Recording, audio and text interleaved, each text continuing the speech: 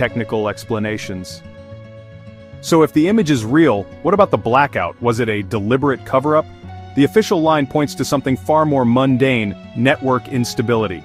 NASA's live feeds rely on the Tracking and Data Relay Satellite System, or TDRS, which is basically a constellation of satellites that act like switchboard operators in the sky, bouncing signals from deep space to ground stations. Dropouts are not rare.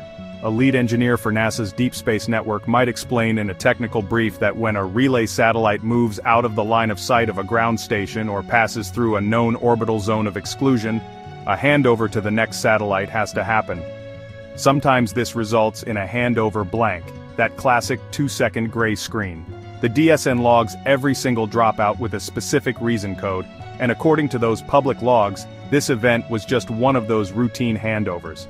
But for skeptics, the timing of this particular routine glitch, right down to the exact second the anomaly appeared, is a coincidence that feels just way too perfect to ignore. While dropouts are common, one happening at the precise millisecond an anomaly is flagged by monitoring software is, honestly, a statistical long shot that keeps the debate alive,